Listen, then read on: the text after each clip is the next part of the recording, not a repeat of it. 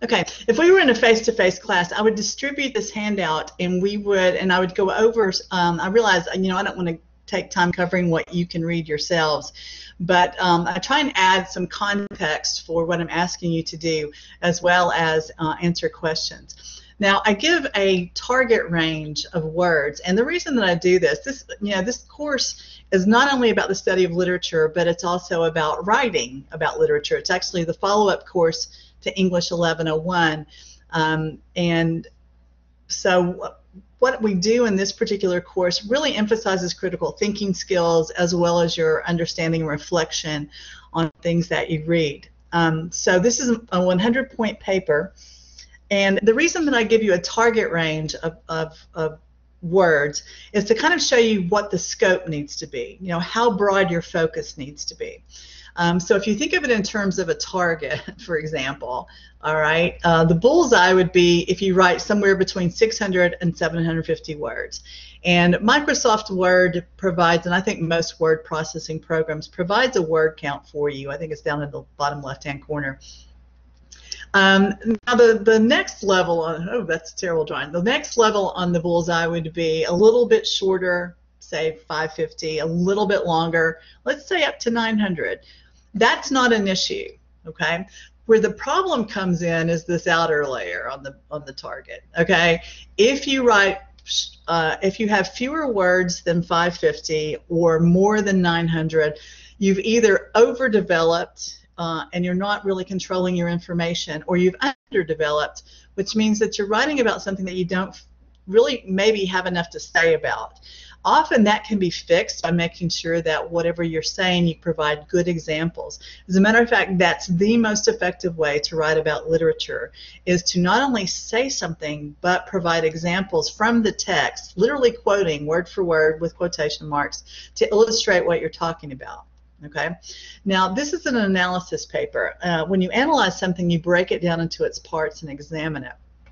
And so what we're doing to kind of pull together what you studied during this first five weeks, um, I want you to focus on one of the short stories and one of the particular elements we've covered and analyze the story, um, for example, characterization or setting, um, to sort of show the meaning, how, how the author um, illustrates or, or, or develops a theme through that use of characterization or through that setting. What role um, does that literary element play in this piece? Okay, so for example, in some, some short stories, the setting is more important than others.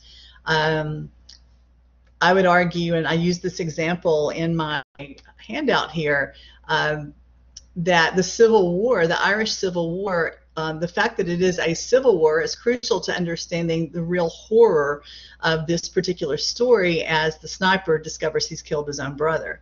Um, so the setting is particularly important, and the fact that he's pinned down on a rooftop and he can't get off, and you know, so there, there's several things about um, that particular setting taking place uh, at that time during those circumstances that are very important um, to our to the effectiveness of the story itself. Okay. Um, so you've got a couple of short reading assignments online um, to this text. Now I don't want you to get hung up in this terminology. Um, you make assertions, you provide examples, you explain your examples, and you show significance. Please understand that I'm not going to go through your paragraphs and go, okay, there's an assertion, okay, there's a.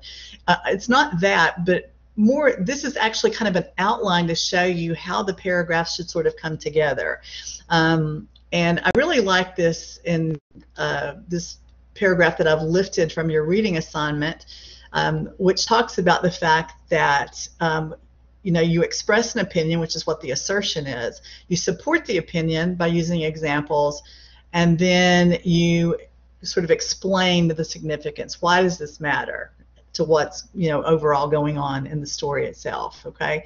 Um, so again please don't get hung up on the terminology there but but realize that this is really what you're doing in an analysis.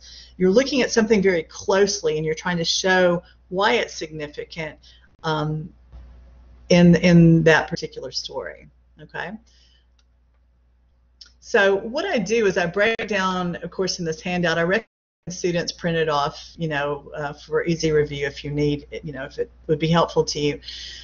Um, of course, choose just one story and just one literary element. Okay, so let me address that um, first. 600 to 750 words is not a long essay. You know, it's roughly two and a half to three typed pages. It's really not that lengthy.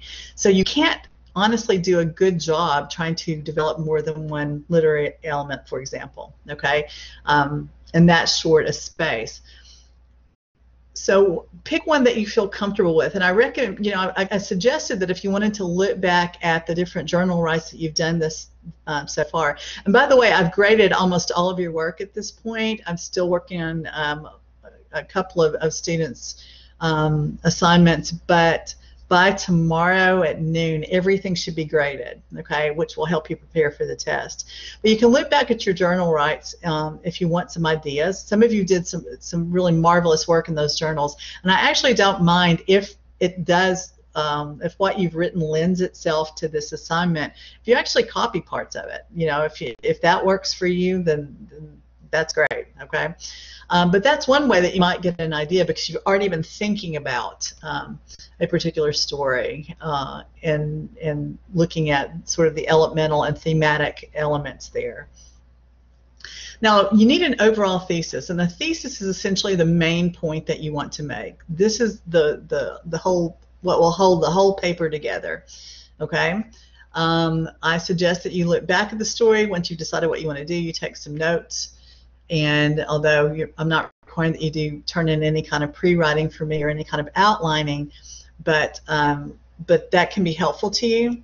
Now you have a draft of this paper due um, Monday night by Monday night, and I'm going to show you in a second how to, if you've never used a Turnitin Dropbox before, um, if you've taken English 1101 at uh, Georgia Northwestern, you probably have. But for those of you who may not have, I'm going to show you how to access that Dropbox and also how to access feedback.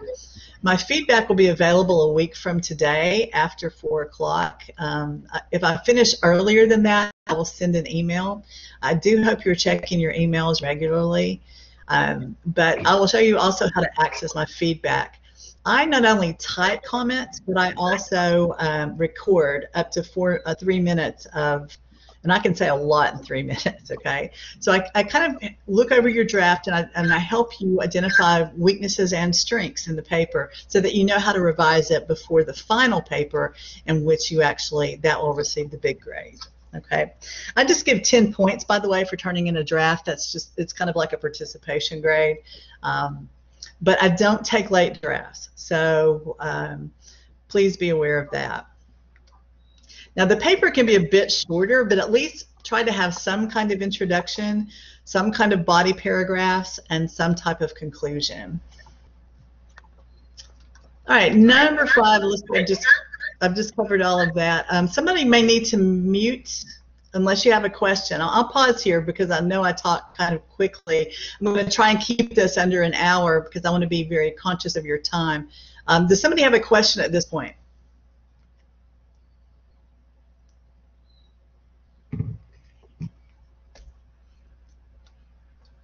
All right. If not, um, the final turn it Turnitin Dropbox for the for the final paper, uh, you you actually go back to the week.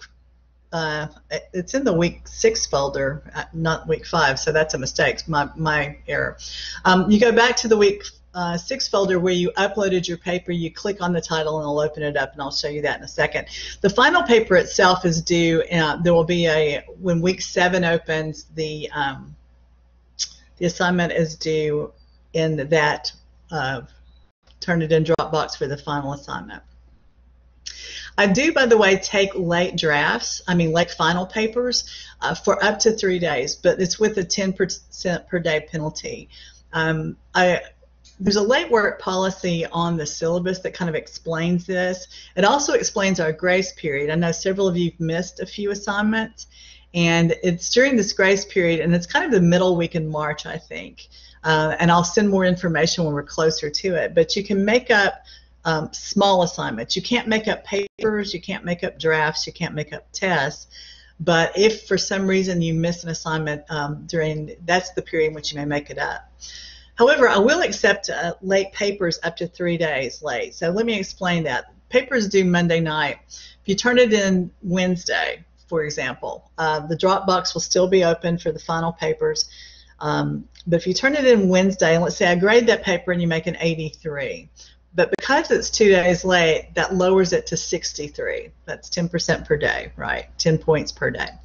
Um, truthfully, rarely do students turn in papers late because you've already been through the drafting process. You've already gotten feedback, so most everybody has something down on paper to work with. Okay. Uh, additional guidelines, please do not do research. All right, this this paper, and as, as a matter of fact, um, I under the plagiarism policy as well as under additional notes on your syllabus, I'm pretty clear about not doing additional research for assignments um, and turning that in as though that's you know something that that those are your ideas uh, until we get to the research paper. Now, I want to draw a distinction here, and I think if you took the time to watch the course orientation video, um, I made this distinction then as well. It's the mark of a scholar, honestly. It's the mark of a student to do extra work, to do extra research to understand something. Um, so, for example, if we read a short story or a poem or a play and you don't get it, and the information that I provide for you, whatever that may be, is not helpful enough and you still don't understand it, I encourage you to go online and keep looking and find things to read that will help you better understand uh, what you understand that short story or that poem or that play. That's fine. Where it's not fine is if you do it on a test or you do it to answer questions, anything where you're supposed to show me what you understand that's where the problem comes in.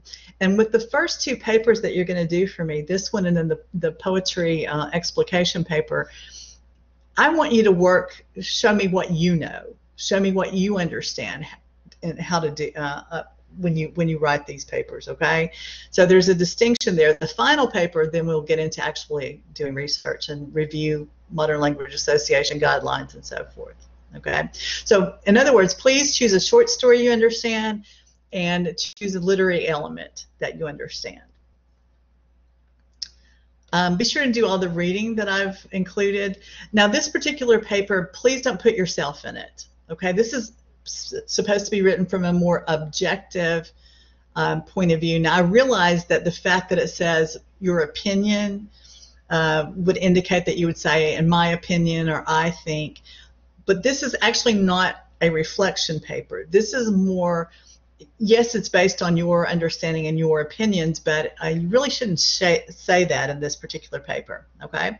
Um, so instead, it should be written, you, you, can use things like the reader, and even we is not necessarily, uh, even though it's, it's first person plural, when you're talking about us as readers, that's not as much of a problem as referring to yourself, the writer. Um, I hope that makes sense. So what you can say is something like when the reader first encounters uh, Thomas Builds-the-Fire, you know, he or she believes that this character is uh, is a little bit crazy or something like that. Okay. Um, also, don't directly address the audience. Second person you. Okay. Um, try to keep the level of diction that you use, and diction simply means word choice. Try and keep it at that mid level uh, where it's not too um, convoluted, all right, or too um, casual. In American culture, we've gotten extremely casual because of things like text messaging and um, you know, BRB and all these, these sort of abbreviations and a lot of contractions and that kind of thing. Try and write at that mid-level where you're not using contractions, where you're not um, using abbrevi inappropriate abbreviations. Um, you know, in other words, it's, it's an academic level uh, of writing. All right, you do need to type it in Microsoft uh, in Microsoft Word, or at least convert to a Microsoft Word document. I don't think Turnitin will take anything other than um, .docx files or .pdfs. Okay, um, I think it will take either one of those, but um, if you, for example, have an Apple product, uh, I can't open those files. So, um, so please make sure, and I think this information too is on your syllabus. And be aware that all students, um, if you're a, a GNTC student, has access to Microsoft Office products. Okay. Um, the title needs to be relevant to the subject matter, so it shouldn't be analysis essay or the title of the short story. You do need a thesis. Uh, it can be implied, not if you study this in English 1101 or not, but an implied thesis means that there's not one sentence that the reader could point to and say, that's the main point of this paper. Um, but from reading it, it's very obvious what it is. Okay, uh, explicit. Normally, a thesis is the last sentence in the introductory paragraph. The introduction sets up uh, the main point that you want to make in the paper, and then the paper goes about mm, uh, developing those points. Uh, page formatting. We'll look at that really quickly in a second. Uh, please don't worry about documentation for this paper at this time, uh, since we are pulling from online sources uh, in, in lieu of having a textbook, um, we're not going to worry about documentation for this particular paper. So you don't need, in other words, a bibliographic entry on a works cited page at the end of it. One of the number one issues that I have with students writing this paper is that spending one to two paragraphs just summarizing what happens in their short story. That's not the focus of the paper, okay? Uh, I've I've read it. I've read the stories, so you don't need to sort of rehash what happens. Instead, pull out those plot events that support what it, the points that you want to make. Okay, it's a point that support your assertions, um, rather than just devote time to summarizing plot what happens in the story. Okay, I hope that, I hope that makes sense. Um, the one thing that I've asked you not to do since you've already written about the sniper characterization and the diagnostic write for me, um, please do not um, choose that as your focus. Okay. Um, last point about this, and I'm going to show you about Turnitin, and we'll move on to the review, uh, reviewing for the test. Your page format should look like this. You're probably familiar with it, but this is sort of traditional MLA page formatting, not documentation formatting, page formatting um, with the student name in the left-hand corner, English 1102, my name, and then spell out the date, okay?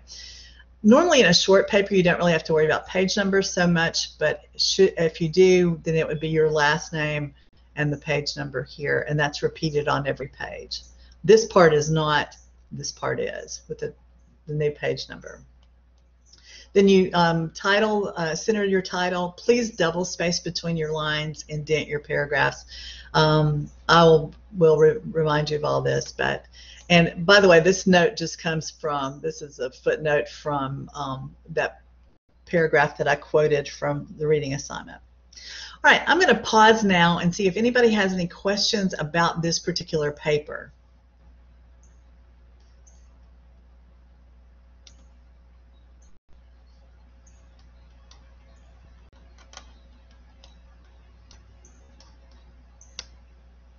All right, if not, then let me show you how to upload a paper to Turnitin if you're unfamiliar with it.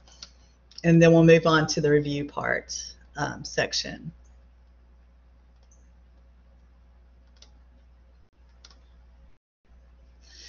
All right, this was from a few semesters ago. It was a different assignment, but um, this is what happens when you open up the Turnitin Dropbox that's in your week six folder uh, for the paper.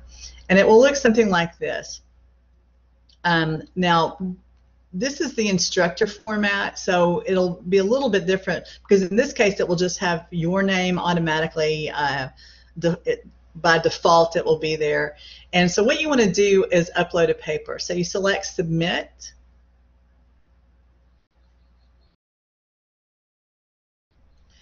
And then you select your name again will be defaulted here. So all you have to do is you can um, you have to enter a title. It will prompt you if you don't. So you type a title here. Okay. Now you have an option of either uh, finding your file online uh, on your computer or laptop and uploading it, or you can actually print it. Uh, I mean, copy and paste it. Um, but often if you copy and paste it, what happens is the system strips the formatting. So for example, your paragraphs will run together or they won't be indented or something like that. So it's preferable if you want to upload what you've written exactly the way that it looks when you typed it, uh, it's preferable to actually upload the file, okay? And then you select Choose File, And this is where you go online and you find, you know, wherever you've saved your, your paper and you and you double click it and upload it. Uh, it will appear there. And then you select submit paper. Now, if you have an accurate submission, uh, what will happen, there'll be a green band across the top of the page here. I can't do it because this is a previous year and there's already a file there. But um, there'll be a green band that tells you that you were successful and they will also give you a receipt. So it's always clear if you, if you um, uploaded your paper successfully. There's no confusion about it okay they'll give you a receipt that tells you there's it assigns it a document number and all this kind of stuff if you're unsuccessful, there will be a red band across the top and there will be notes explaining why it was not successful. Okay, I hope that makes sense. Now let me show you when you go to retrieve the format since we're already having this um, live lecture. Let me show you what that's going to look like. Your screen will look a little bit different from this because, uh, again, this is the instructor view, and I don't have access to student view. Uh, but this was a student's paper from uh, from a, a couple, I guess maybe it was a year ago, something like that. A different type of assignment. Um, so here, of course, she's got format correct. She's um, she's done that correctly. It's centered her title. Notice that she's indented the paragraphs. Notice that she's double spaced between them. This is what your page should look like, okay? Um, again, I give 10 points just for participating, getting your draft in on time. And then at the very top of the page, uh, the very first note you'll have will either be an E, an M, or an L. Uh, on your syllabus, I explain this is how I handle drafts, okay? Um, because most students, when you when they submit a paper, what they want to know is, if I were to grade it on that day, what grade would they receive, even though it's just a draft? And so instead of giving, you know, letter or numeric grades, what I do instead is I use this little code. Uh, an E uh, would indicate that it's an early stage draft. And what it means is you've got to start, but at this point the paper would not be successful. Um, so, and, and, but the good news is I tell you how to fix it, right? But if I were to grade it on that day, it would not make above a D. Okay, a C, an M level draft. If I type M and like this student received a an L. If I type M and M level draft, then and again all this information is on your syllabus uh, under grades. An M-level draft indicates that it's a mid-stage draft, um, that there's probably there's good organization, maybe it needs more development, maybe there are excessive uh, technical errors, but the good news is I tell you how to fix it. And M indicates that it would probably make a C if I were to grade the paper on that day. Okay. Now an L stage draft indicates a late stage draft, and that means that the paper just needs a little bit of work. Um, usually there's not a lot that needs to be done to it, and then um, whatever, you know, I give you some indication of what needs to be fixed, if anything. But if I were to grade the paper on that day, it would make uh, a B or an, a high B or an A. Okay.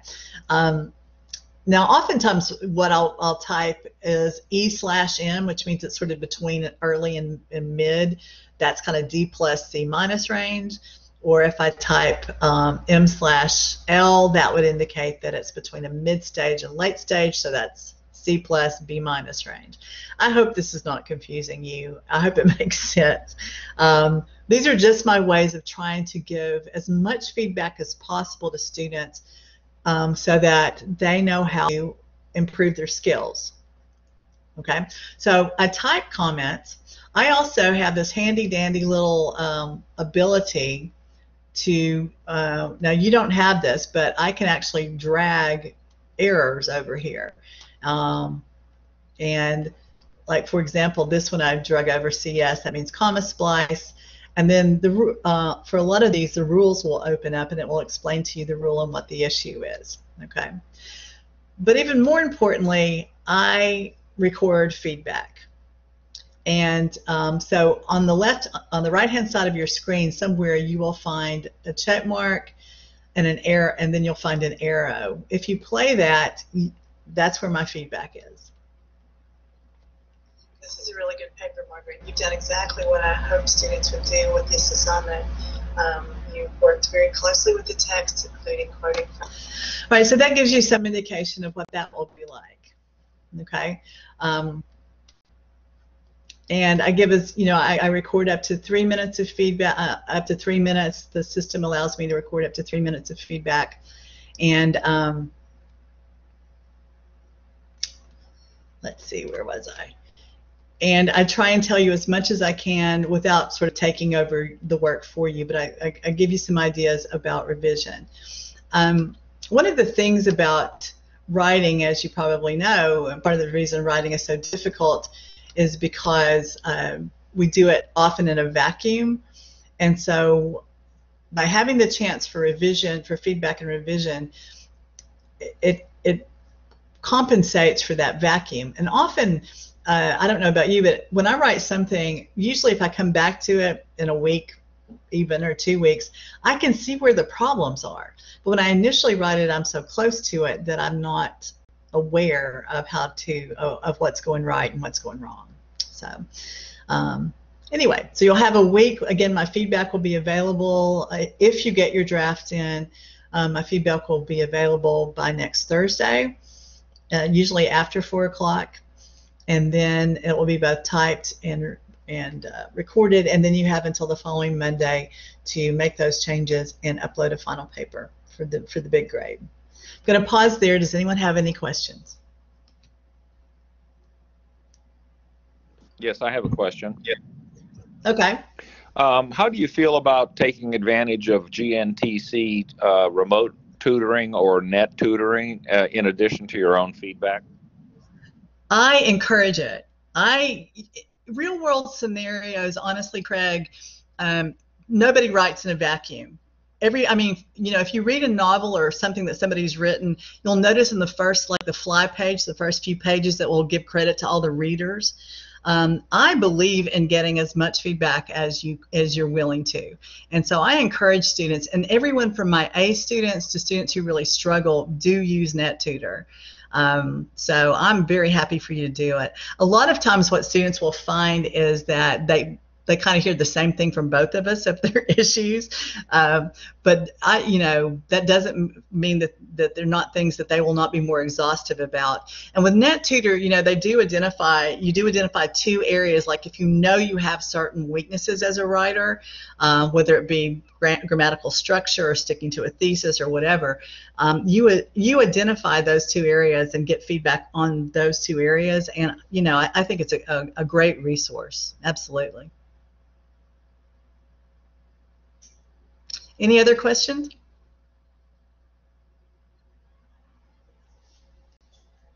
All right, um, let's talk about review, and I'm going to go over a few things, notes with the short stories, and see if you have any questions. Um, this document is in your week six folder. Um, you know, that talks about the how to study for the unit uh, one test. I tell you the structure right here. They're true, false. There are matching. This is strictly just matching literary terms and definitions. I realize most of you covered this in high school. Uh, I hope I provide a bit more depth um, and chance to apply that knowledge in, in what we're doing here. Um, but uh, one of the my strongest piece of advice is don't get stuck on one point questions okay as a matter of fact because you can navigate through the test um, you can even start at the end and work backwards if you want to. Um, you uh, you know that may be the thing to do because because as you progress through the test, the wavy questions are at the end. Like for example, the very last uh, part five is the essay response. Uh, very important. Please notice that you only choose one, I give you three kind of broad uh, topics to choose from. Please just write about one of them, uh, because in the in the time, you know, this is a 90-minute timed test, and um, once you start it, you have to finish it in that 90 minutes. It's automatically uploaded at the end of it. So you you even though uh, it is an open note and open book test, and by that I mean it's fine with me if you've got the short stories open to look at. It's fine with me if you look at some of the at the PowerPoints or any other materials that I've provided for you. Um, but uh, or or that we've done as part of the lessons. That's my way of trying to compensate for the fact that this is an online course. Um, and so I, I realized that you don't have the benefit of the richness of discussion. If we were in a face-to-face class, there would be so many things that we would cover that really are just, uh, you know, it's it's very hard to do so in an online class. Um, so this is my way of trying to compensate for that. Um, and so it's fine with me if you use that. What you can't do though is click off on other sites and look up answers. I, hope this is obvious. That's cheating. Um, and you can't work with other people. Um, so I say that at the outset because I have to tell you, it won't just be a question that fails. It will be the entire test should you do that. And uh, and I have had students who have, you know, who've gone online and copied things that they found online. Um, so please understand the distinction between what's allowed and what's not allowed. But in the time provided, you only have time, honestly, to develop well one of these uh, essay topics. Notice you don't need an introduction and a conclusion and all that. This is a this is an essay response on a test. So just get right into the point you want to make, but develop it well. Because I think it's yeah, it's 25 points. That's a quarter of the grade. Some short paragraph is not going to get you 25 points. All right, so please be aware. Um, one of the things that I recommend students do is let the point totals indicate how much you should write if that makes sense, okay? Um, so you do have some short answer questions and some and the point amounts will vary. If it's a two point question, just get right to the point and answer it. You don't need a paragraph. If it's an eight point question, that's asking for more development. That's asking for more detail, more specifics, okay? So please, uh, that's one little hint I would give you about, um, about taking this test. So again, the true false, the matching, multiple choice, and the multiple choice is a little bit complex because it does require some critical thinking. There may be some answers that are correct, but there's going to be one answer that's the best answer. All right. Um, so it checks for more than just memorization. Please study in advance. You don't want to spend your time since you can use open notes, open open you know resource um, the short stories themselves, you don't want to spend your time looking up answers for one point questions. So study in advance, okay? Um, if I were taking this test, I would do one of two things. I would either begin at the end and write the essay first, and then get to then jump maybe to the beginning of it again. Or sometimes what some students find is as they go through these more objective, fact-based knowledge comprehension questions, when they get to the more significant, broader question, um, the earlier part of the test actually helps them, you know, um, think of things to say.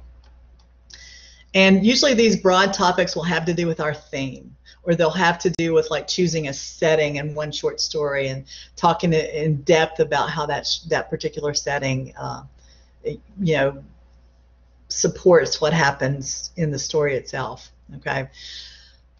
Uh, now the other thing to mention are the significant passages. What I do is I pull um, uh, passages uh, from the short stories There'll be six to choose from. Uh, six to choose from. You only need to select three of those passages. Okay. You tell me what the story was, who's doing the talking, unless it's the narrator, and then you just say narrator, not the author. Okay. It's the it's the it's who's speaking. Who is the speaker? Um, and then um, you tell me the significance of the passage. Please don't just rewrite the rewrite what it said in your own words. Don't just paraphrase it. I want to know why it's important. You know, what do these lines from this short story have to do with what's going on in the short story uh, and the broader theme? These are five points each. Once again, please only choose um, three. Some students are overachievers and they and they respond to all six honestly, I don't have time to grade that much and to read and try and pick the best responses. So I just grade the first three.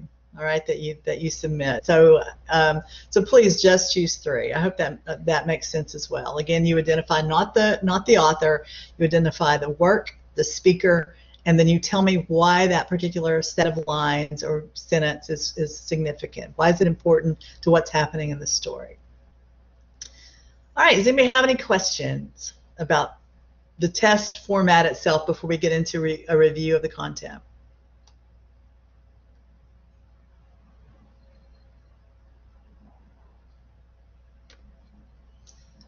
All right, the rest of that document you can read um, in the week six folder. So finally, let's go back to and talk about um, the stories that you read and let me answer any questions that you might have.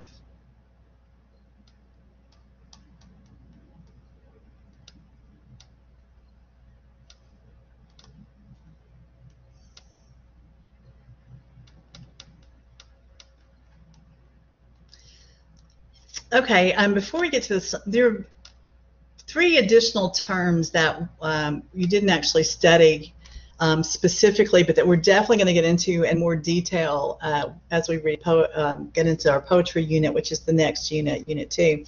Um, the first one is theme, and please understand that theme, uh, in its broader sense, means more than subject. Okay? So, for example, love is the subject, but the comment that the writer or poet or playwright wants to make about love, that's a theme.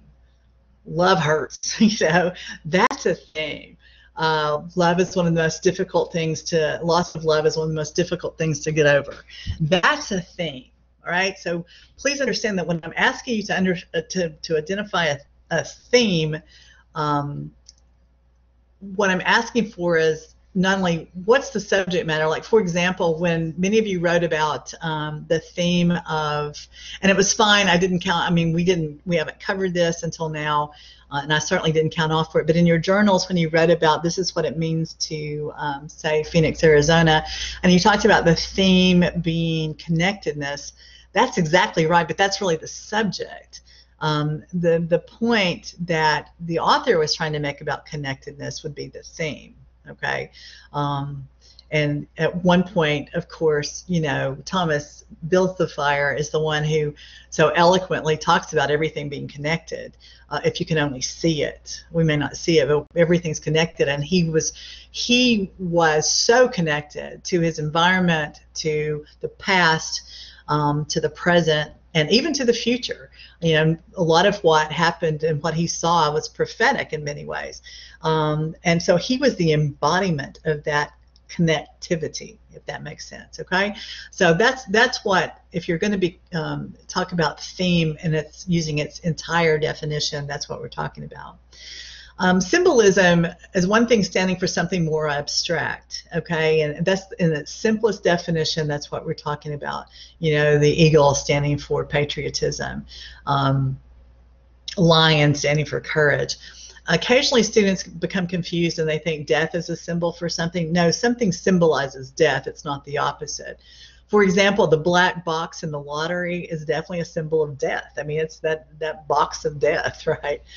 Uh, and then irony we will discuss in great detail uh, when we talk about literature, I mean uh, poetry, because um, one of the things, especially in more sophisticated writing, that uh, English instructors and professors try and tell their students is first rule out irony when you read something. Does it mean the opposite of what it's saying uh, or what it's revealing? Um, so that's what's that's what irony is. It's a very complex term, and we will uh, get into it more, especially again in poetry. All right, moving on to um, the sniper. I think uh, I know many students mentioned they'd read the sniper before. This piece and the lottery and everyday use to some extent are widely anthologized. Um, and what that means is that in collections of short stories, you will often find um, find these stories collected together. So a couple of points about the sniper, and then I'll see if you have any questions. Um, as I mentioned before, the Civil War setting is part of what um, actually leads to the horror at the end of this story. Um, that sort of surprising because uh, that surprising ending. I think because it kind of bypasses, at least it did me as a reader the first time I read it, and probably the second, I didn't really think about it. Um, you know, I don't know a lot about the Irish Civil War. It took place at the big, um, I think, the second uh, decade in the uh, 20th century. Uh, the Irish Free Staters and the um, and then the Republican Irish uh, Republicans were fighting, and ended up in the split of Ireland. I don't know if you know anything about the history, but you know Ireland, and even now Ireland, Northern Ireland is part of Great Britain. Um, so, um, and then the Republican, the Republic of Ireland, is its own country um, to the south, and so uh, that was the result of this, um, or part of the result of the Civil War. And so the whole idea of Civil War, war, I mean, is is horri- is horrifying, uh, and because of death and um, necessity or no, but there's still a horror to it. But the idea of you know, in a civil war, you are pitting people, often even relatives, on either side, as we know in our own civil war. Um, you know, against each other. And so that's part of what this story was was trying to to show was that kind of idea of of of this, you know, man who came out successfully in this fight but ended up losing indeed. Now there are two possible climaxes. When you you know one of the ways i would i would i would look back at the plot events um, you had that little plot quiz about the sniper and um, which I graded. You do have access to my feedback. Anytime you miss something, I try to indicate what it was that you missed and, and type out the correct answer. So you do have access to that. If you go back in My Grades and you select the actual score, it should open up the quiz and you should be able to actually see feedback in, in, uh, on any test, any quiz, okay? Um, so please go back. That's one of the ways I would study is just look back through any of my comments, things that you've turned in, um, how you did, look back at those little uh, reading check quizzes, see what you missed, um, you know, because those are like little building blocks toward this larger larger test. Now there are two possible climaxes that um, critics, uh, literary critics, uh, point to for this story. One is yes, when the sniper actually, we do build to the point that the sniper actually does, um, even though he's wounded, he does shoot his opponent that's one climax. And then after that it's kind of you know he loses gas he curses the war he you know and then this curiosity wins out.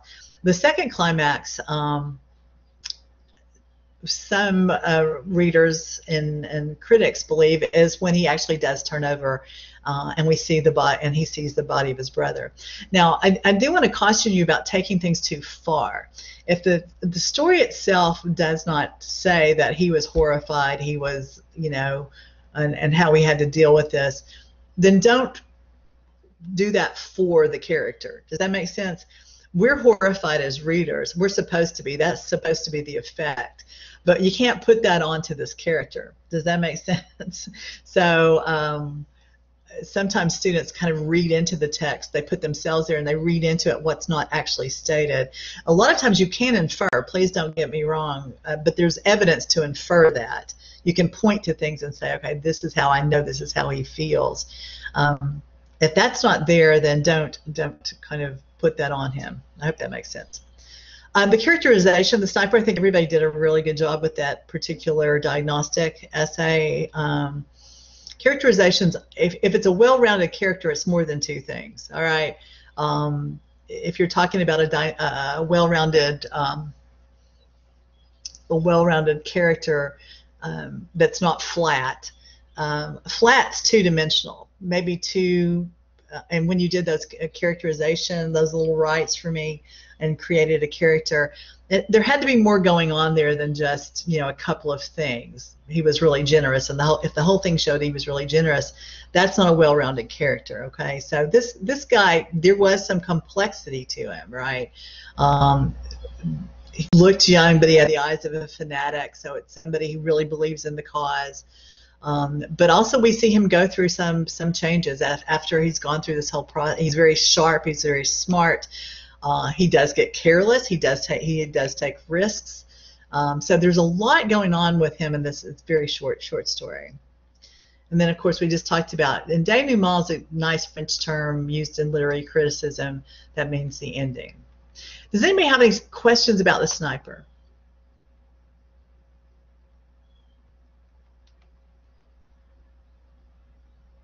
Feel free to type them, or if you have a, access to a microphone, um,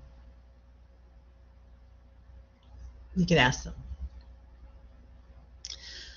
All right, the lottery. Once again, several of you, uh, several of you had read it. Uh, I read it too in high school. I remember the horror the the first time I read it because I didn't see it coming at all.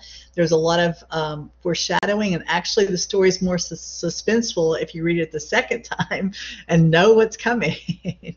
um, now, some of you, uh, the lottery lotteries now have positive connotations. This lottery obviously didn't, and it's not supposed to it was set in a village or a town that's supposed to have been had a post office, right? You there was some equipment. Um, I think there was a sort of a town square, and it looked like an average summer day. I think it was what June 28th. Um, so this was supposed to be the the um, the author intentionally did not name the town because what we were supposed to feel was this is just a normal place anywhere. Obviously, things like this do not happen. Um, in the United States do not happen in the civilized world uh, or the or uh, first world world countries, but but it was essentially um, Shirley Jackson got the idea from the agrarian calendar, agricultural calendar.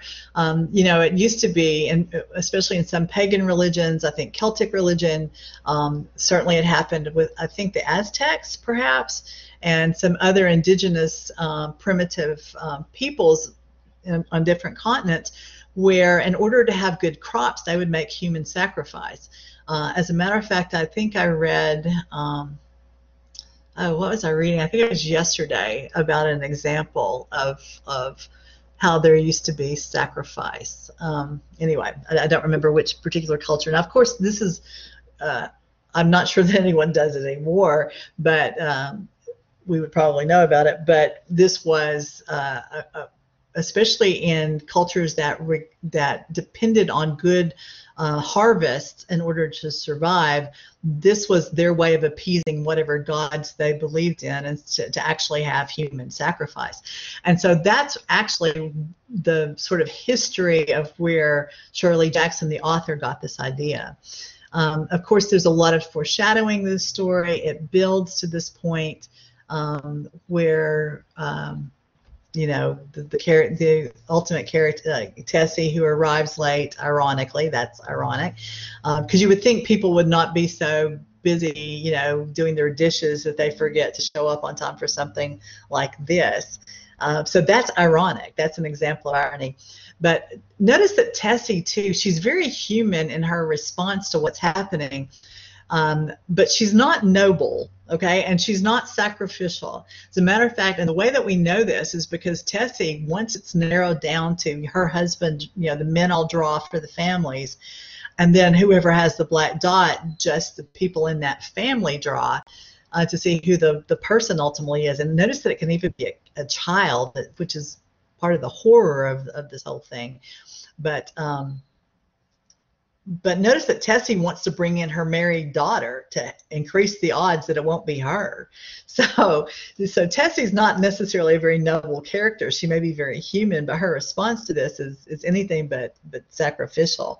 And of course, then it ends. Um, you know, it ends, and, and, and they've made. I think they made a, a some little made for television movie based on the lottery. There've been, you know, this is a, a at the time it was. Um, the story was really kind of shocking when it was published. And and the people who lived but Shirley Jackson uh, there's there's sort of interesting history here. The the author um, just the, she couldn't stand some of the townspeople that where she lived. And so what she was trying to show is that whole idea of blind obedience to tradition. Um, any questions about the lottery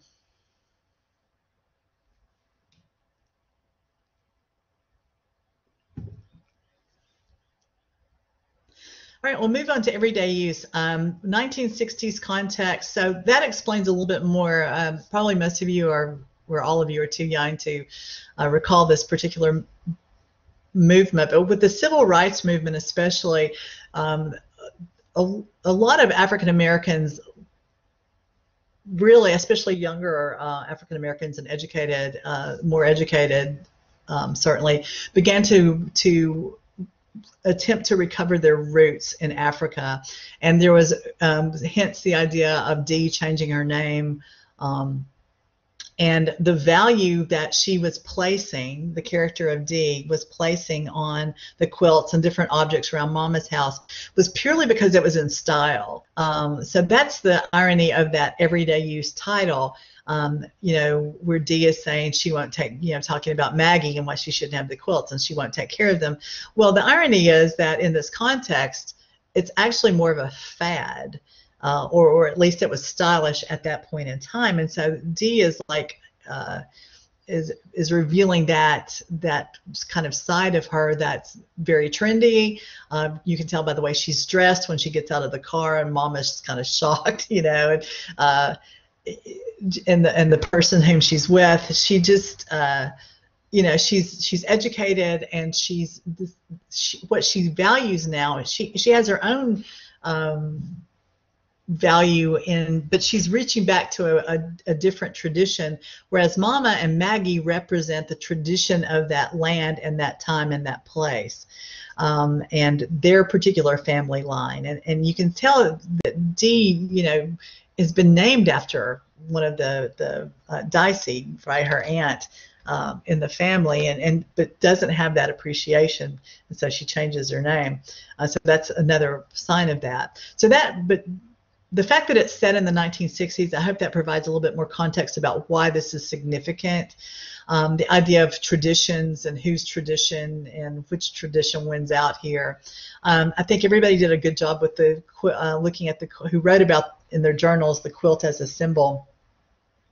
Um, because of course, you know, it's, it's, patches, it's pieces of personal uh, family history, uh, which is significant. Um, but it's also um, symbolizes women's work. It symbolizes covering and warmth. And um, I don't know about you, but my family has all of these quilts that that people, women in my family have made and passed down. They're very used, they're very worn, um, but that's part of their significance. Uh, the climax of this story is it's very subtle, but when Mama takes that quilt and gives it to Maggie, that's actually the climax, and there's a very subtle change because Maggie is this beaten down character. Not that Mama didn't beat her. You did, you know, they're very much in some ways alike. Um, but Maggie, because of the fire, the burns, and her own temperament, is very shy. Is very, you know, you almost get this sense of someone who's just beaten down by the world, in, in um, and she's got this sort of narrow life. Um, but things matter to her, and people matter to her, and and so that very subtle move when Mama gives that quilt to to um, to Maggie, that is the climax of the story, and you can tell by the end of the story. And once again, it is subtle, uh, but Mag, there's a there's a change there. There's a change in the family dynamic. Um, and then, of course, the characterization, I wrote a little bit about that on that secondary characterization chart, you know, about the different characters. You can sort of look at that. That was that handout that talked about characterization. Any questions on this? Because I don't want to run long, and the last two stories are probably the ones you have questions about.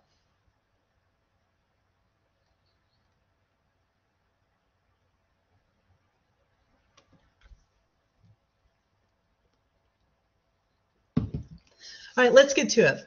This is what it means to say Phoenix, Arizona. Phoenix, of course, symbolism. Most of you, or a lot of you, caught that. Uh, the phoenix being the uh, mythological bird that essentially every you know, there's a period of time, a hundred years, whatever, lives, then it burns into, bursts into fire, burns to ash, and then from the ashes a new phoenix, phoenix arises. And so um, many of you did note that that trailer in Phoenix, Arizona is exactly where um, Victor begins to have his uh, his own personal renaissance, his own personal rebirth. And there are literally ashes there. Okay, you've got ashes that that Victor um, that Victor um, comes to um, to collect, as well as his dad's $300 in the bank in his truck and what the stereo and I think there's one other item. Um, now Thomas Builds-the-Fire, once again, notice that at the very beginning of the story, we all, and talking a little bit about the characterization of Thomas, the reader has the same sense because what we know is we see through the eyes of people who are rejecting him. And so initially we kind of respond, most of us, to Thomas Builds-the-Fire the same way that the characters in the story do. Um, that he's just sort of crazy and he's this guy that you try to avoid. But, but as the story progresses, he's the storyteller. And Native Americans, uh, like many um, indigenous peoples, they're, they, they rely on oral history to um, create a sense of continuity for a tribe, to, to or, or for the peoples to connect the past to the future to the present. And um, the fact that the people do not listen to Thomas shows their disconnectedness. Okay, the fact that this particular tribe uh, on the reservation does not pay attention to their storyteller shows their disconnect from the land, from each other, from and from their history. And of course, Victor symbolizes, in many ways, symbolizes that disconnect. Um, he's gone and worked for. And if you watch the um, the interview that I put up um, with Sherman Alexie, um, he talks about you know the uh, the the red man who uh, oh gosh, what I can't remember the, the term that he used, but the the red man who kind of turns white or try, you know tries to assimilate. Um, so so Victor has been that and got fired from that job at the Bureau of Indian Affairs, which was a government agency. And so now he's returned. He's been, he's been estranged from his father. And notice the role that Thomas Met plays in connecting Victor back to his dad because Thomas has the stories. He has the history. He can show that his dad that that um, Victor has felt spurned by his father, but he can show that his dad, as much as he was able, did have some concern for him at this at certain points in time, and but only Thomas can show him that. You know, Thomas had those stories. Um, also, what's interesting in the nature of fire, the I the whole idea here, we've got Thomas builds a, the fire and fire can be destructive, but fire can also be life-giving. And that's one of the things that that uh, you know with warmth and and so that particular fireworks is a symbol in the story in a lot of ways, and um, and that's one of the things that Thomas provides for um, for Victor as he reconnects him to his past. And there is some you know idea here that even like when they hit that rabbit everything's dead and they hit that rabbit and it's there's there are moments of humor and thomas does bring humor as well. Um, but there are moments of humor where uh, they now have a shared they have more shared history uh, together. And this whole idea of of you know Victor sharing the ashes at the at the uh, his father's ashes at the end and so forth um, what I recommend about the micro settings, there's several. Most of you chose to focus on the trailer, but of course there's the journey in the car, there's the airplane uh, with that, that little incident. Thomas can talk to anybody. That's Thomas's connectedness. That's part of his gift. He's talking to you know the the gymnast, uh, and they find a, a place of, of shared um, connection. You know the whole idea of the government sort of stripping both of them of something that they of identity. Um, so Thomas is a really, really interesting character and a life-giving character, which is which is uh, interesting enough. And and one of the things about him is that he knows who he is. He doesn't have to search for identity. Thomas accepts who he is purely, and um, whether people will listen to him or people don't listen to him, um, it doesn't matter. He just has to be about that thing that he is, knows to his core that he is. Does anybody have any questions about this um, story? I have graded most of, not all of, but most of your answers um, to the questions, and I do write responses. I, I am sending out copies of good responses if you, it looks like there you have any confusion. Um, so that email, I mean, that will be uh, that file is uploaded in the um, same Dropbox where you submitted your work. So you should be able to access that in, through My Grades. Does anybody have any questions about this before we finish with Rose for Emily?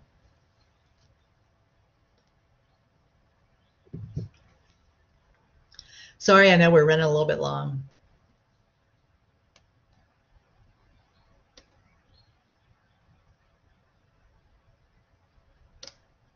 All right, last short story, Rose for Emily.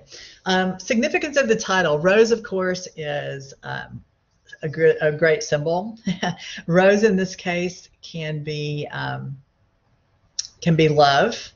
Uh, like you can, it, as a matter of fact, that's probably the most common way people interpret that particular symbol for this this title. Uh, it, so it can be sort of the story itself is kind of paying homage to Emily. Um, so the story's the rose. Uh, it could be that one love interest for you know uh, of Homer Barron for Emily. Um, so th- there are a couple of ways you can interpret that, but the but the whole idea is um, is yeah this this rather sad character um, who fails to grow, who's stuck in the past, who um, stuck in time, and uh, and of course she has this tragic outcome. Now, this particular story is an example of what's called Southern Gothic literature. Gothic literature, I think Edgar Allan Poe, you know, The Cask of Amontillado, uh, The Raven. Uh, the Telltale Heart. Um, the elements of Gothic literature are usually some type of mansion or old decrepit house. There's usually they're usually servants. Often the servants know more, just like Tobe in this story. The, the servants know the story, uh, but they're kind of behind the scenes. Um, there's usually madness, and there's usually death. Okay, so those are the elements of tradi- traditional Gothic literature. Uh, Frankenstein would be considered Gothic literature. Um, Southern Gothic, this is American Southern Gothic literature set in the South. Um, there's quite a bit, a body of Southern Gothic literature. Um, so notice you've got Madness with Emily's relatives as well as Emily herself. You've got this old decrepit house decaying house that when people go there, you can tell things it just gets worse and worse. Um, you've uh, you've got death with between the father, Emily's ultimate death, and then Homer Barron, of course, um, the murder. And then you do have sort of this, the the servant who's sort of behind the scenes uh, in all of this. Now, Emily, in many ways, symbolizes the old South. We're talking Civil War South. Okay, the uh, there, as a matter of fact, the story at one point mentions this term. Uh, I don't know if you noticed it, but there is a term, um, noblesse oblige. This is uh, a French term that essentially means the way that aristocrats are supposed are obligated to act um, this is thinking, you know, in terms of a social hierarchy, and the aristocrats are kind of at the top of the social hierarchy. And so there are certain ways that they are supposed to behave so that people underneath them um, can um, continue to give them respect. And so that um, Emily's family is she's the last of her line of Griersons there. They've been part of this town forever. Um, and she, in many ways, represents that old South that's clinging onto values and traditions that are no longer um, healthy uh, or valid. Um, now, notice the story is written in section. There are five sections. It's not told in chronolo- chronological order. If it were, you wouldn't have the same we would guess the ending before we got there. But notice that we begin with Emily's death and uh, and the funeral, but then we get backstory, and then we go forward in time when people, you know, they talk about the smell. Um, Homer Barron is is uh, a robber baron. You're probably familiar with that term, but a robber baron, uh, were after the Civil War, were um, after the Civil War were Northerners who came to the South during Reconstruction to try and make their fortune. Um, Homer Barron would be considered beneath Emily. He probably was never actually interested in Emily necessarily, except as far as her money goes. Um, there was some indication that he actually may have been uh, may have preferred men. It actually says that. Um, but and but Emily was once her dad died, and notice that her dad kept away all suitors, all of the townspeople who were interested in her. That uh, she was something of a catch at the time, and notice that um, her dad keeps all of all of the young men away, and but so she's after her dad finally dies, she's willing to accept this unacceptable person just because she's so desperate for love. And notice that at some point he apparently rejects her and so her answer to that, of course, is she, she goes into sort of full blown murder and madness there. Uh, the whole idea of the smell, uh, using lime when the townspeople notice they can't do anything with her. She's intractable. Um, she's unmovable. She's immovable. She will not listen. Um, and again, she symbolizes in many ways this whole idea of a South that will not get over. Uh, and, and this story was written I don't remember the actual publication date.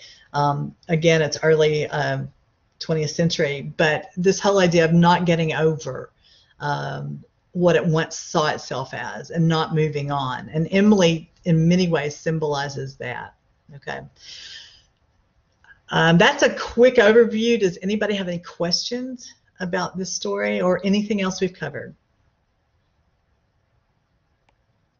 Yeah, I was wondering if we could have like a uh, you could show us what we need to write, like an example of the writing we need to do.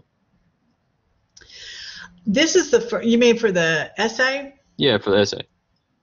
Okay, I will try and find uh, try and find uh, a sample paper. Honestly, this is the first time I've given this particular assignment. Um, so I have lots of samples of what I'm used to do, but I don't have any samples of, of, this paper. But I'll write, I'll either write one myself or I'll find something and upload it. Okay, it's it's a good request, and that normally I do provide a sample, at least one sample paper, so that you can look at it to see what to do. So I'll find something for you. Any other questions?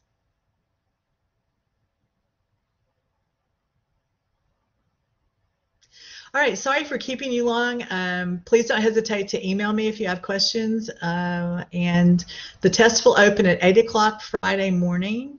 Uh, and it will remain open until Monday night at 11:59. By that point, I should have all of your stuff graded. Um, if it's not already, please review before you take the test. Please don't wait till the last minute.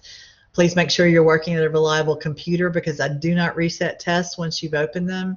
Um, and uh, because unfortunately I've had I, I've had some people cheat um, when I've done it. And and it was obvious that's what happened. So I've, I've had to have uh, developed that policy.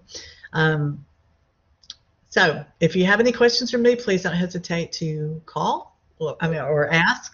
Uh, and also remember that you can set up individual appointments. We will use this system Blackboard Collaborate and and talk just like we are now, and I'll be glad at any time to talk about anything you want to. So, all right. Good afternoon.